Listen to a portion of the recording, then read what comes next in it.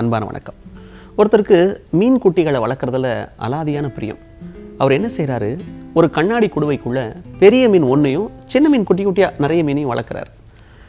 இந்த பெரிய மீன் என்ன பண்ணுதுன்னா சின்ன மீனை சாப்பிட்டுடுது. என்ன பண்ணுறதுன்னு யோசிக்கிறார். ஒரு பெரிய தொட்டி வாங்குறாரு. பெரிய மீனை ஒரு பக்கம் வச்சுட்டு சின்ன மீன் இன்னொரு பக்கம் வச்சுட்டு ரெண்டுத்துக்கும் இடையில ஒரு தடுப்பு உருவாக்குறாரு.